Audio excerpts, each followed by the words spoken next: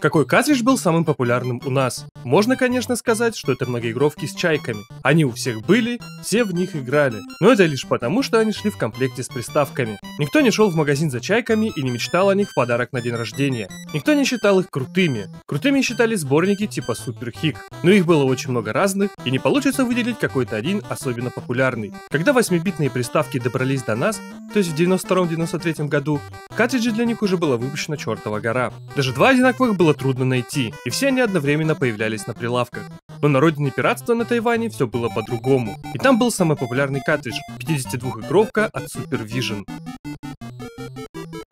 В конце 80-х Тайвань все еще довольно бедная страна. Лицензионная продукция мало кому по карману, да и пиратских одноигровок много не купишь. Многоигровок еще мало в продаже, и игр на них штук 8-10, ну максимум 15. Крутые сборники типа Super Kick вообще еще не появились, и серьезных игр можно было запихнуть на картридж не больше двух штук. Так что, когда в 89 году появился сборник Super Vision из 52 игр без повторов, это было просто царское предложение. Если что, Super Vision — это не фирма, а торговая марка фирмы Daryard, могучей пиратской корпорации. Только такому гиганту тогда было под силу разработать и выпустить картриджи с таким количеством игр. Большинство игр тут, как нетрудно догадаться, это ранние простенькие аркады до 85 года, включая и Donkey Kong, и Papaya, и Road Fighter, и Blood Runner и прочие. Но не только. Здесь есть, например, Gradius и 1942, а также Super Mario Bros. и Adventure Island, а их редко встретишь на одном картридже. Марио, кстати, тут необычный. Меню он называется Bros 2, но это не вторая часть, и даже не японский сиквел, выходивший на FDS, а просто первый Марио, но в который вставили фоновую графику из этого японского сиквела. Опять же, здесь есть супер хитовый и тогда еще совсем свеженький тенгеновский Тетрис. Да, игр тут не 52, а 50. И два повтора, точнее хака. Первый — Галаксиан с ускоренной стрельбой, но второй завершает весь список игр. Фэнси Брос, странный как Марио с переключенной графикой, в котором ни хрена не понятно, куда бежать и прыгать. Хотя пройти его при желании все-таки можно. Тогда это казалось весело. Наверное. Все это упаковано в симпатичное меню, поделенное на три экрана и обрамленное кирпичиками. Кстати, это из первых многоигровок с таким графическим оформлением меню. Знаменитые чайки появятся только года через три. В общем, неудивительно, что сборник, заменяющий сразу полсотни картриджей, стал невероятно популярен. Первые картриджи 52 в одном выглядели скорее вот так. Слева три картинки игры с закругленными углами, включая Тетрис, справа мужик с обложки Star Soldier. Эта обложка скоро стала по-настоящему каноничной и знакомой чуть ли не каждому. Хотя продавался и вариант с обложкой попроще, вот такой. Чуть позже вышла еще вторая версия, которая отличается надписью на обложке. Вторая версия. Игры тут те же самые, но отличия все же есть. О чем написано на задней наклейке. Оказалось, в первой версии на сборник залили пару глючных ромов. Donkey Kong и еще какой-то. Во второй версии это исправили. То есть тайваньские пираты не только признавали свои ошибки, но и выпускали вот такие патчи для их исправления. Интересно, можно ли было обменять глючную первую версию на рабочую? Видя успехи своего сборника, Дарья отправилась покорять иностранные рынки, но отправились не в нищую Азию, а в более сытые западные страны и в Латинскую Америку. Поэтому экспортные 52-игровки Super Vision были в формате NES, а не Famicom. Оформлены они были по-настоящему фирменно, в собственных корпусах с логотипами Super Vision и лживыми надписями Made in Japan. Упакованы в серебристую коробку тоже с логотипом. Кстати, лого ребята подрезали у Activision, да и название, собственно, тоже. Хотя и картриджи NES формата есть более простым оформлением. Добравшись в 90-91 году до Испании, Португалии, Мексики, Аргентины, многоигровка Super Vision стала популярная и там. Есть данные, что ее пытались продавать даже в США, пока Nintendo не пресекла это дело, а вот до нас этот сборник практически не добрался. Зато добрался другой сборник Super Vision, 64 в одном. В отличие от предыдущего, он как раз распространился в азиатских странах. Точнее, сначала он добрался до Китая, а уж там его скопировали и наштамповали гигантскими тиражами. Список игр на нем полностью повторяет 52-игровку, кроме двух хаков. Даже название игр тут с теми же дурацкими ошибками. Но в конце добавлены еще три игры. Каратека, Супер Arabian и Antarctic Adventure, а после них еще 11 хаков с приставкой Супер. То есть очевидно, что это расширенная версия предыдущего сборника.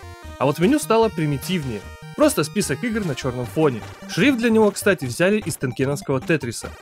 На самом деле даже неизвестно, является он тоже фирменным сборником Super Vision, или это другие пираты хакнули 52-игровку и добавили еще игр. С пиратами такое всегда сложно выяснить.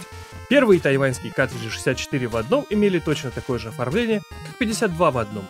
То есть буквально обложка ничем не отличается, и опознать их можно только по списку игр на задней стороне. В начале 90-х 64 игровки попали в Китай и были стремительно размножены местными пиратами. Там они стали просто фантастически популярны. Даже Сюбар торговал этим сборником под своим логотипом. Кстати, Сюбар даже внес кое-какие изменения. Ставил в меню свое название и заменил игру B-Wings на китайские шахматы. Эту обновленную версию, конечно же, сразу сперли другие пираты, так что в Китае ходили два варианта. Десятки мелких фабрик штамповали копии обеих версий многоигровки, и они отлично продавались. Неудивительно, ведь Китай был еще беднее Тайваня, и было большой удачей заполучить 64 игры по цене одной. Окей, 53 игры, но тем не менее. К тому же в Китае уже появились мусорные многоигровки типа 8 игр и 1000 повторов. В сравнении с ними супервиженовский сборник считался настоящим, не обманным. Почему-то в Китае эту многоигровку прозвали японская версия. Наверное, чтобы отличить от 52 в одном, которая была на картридже NES. И сегодня многие китайцы ее вспоминают как тот самый картридж из детства, который был у всех. Гораздо чаще, чем чаек, между прочим. Ну а из Китая эти картриджи доехали и до нас, и наверняка кому-то из вас встречались. Хотя к тому времени, конечно, уже был выбор из картриджей покруче, и у нас они не стали прям супер Оба сборника и 52 и 64 в одном оказали огромное влияние на развитие многоигровочной отрасли пиратства. Под брендом Supervision было выпущено еще несколько многоигровок. На них было еще больше игр, правда в основном за счет хаков, но они уже не были настолько популярны.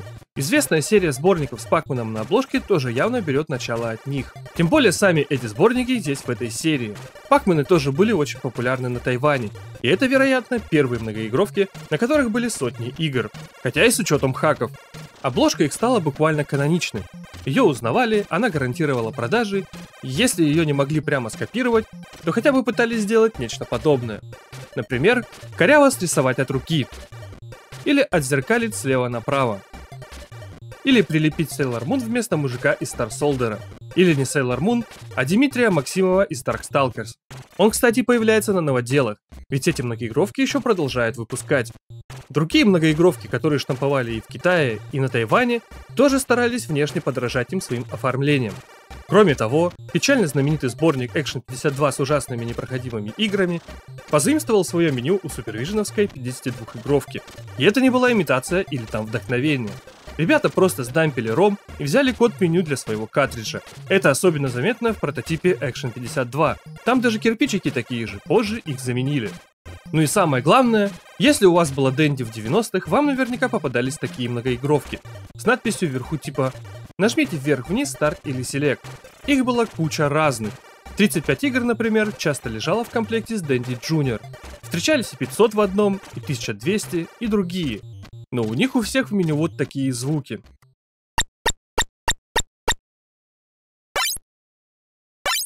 Так вот, точно такие же звуки есть и в супервишновских сборниках.